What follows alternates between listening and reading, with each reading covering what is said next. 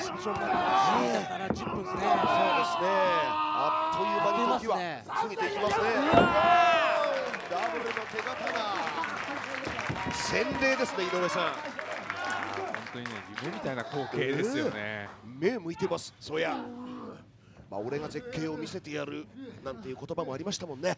そうですね。ロープワーク。お、お、来た。今度は曽山。正面からキック。蹴り上げると。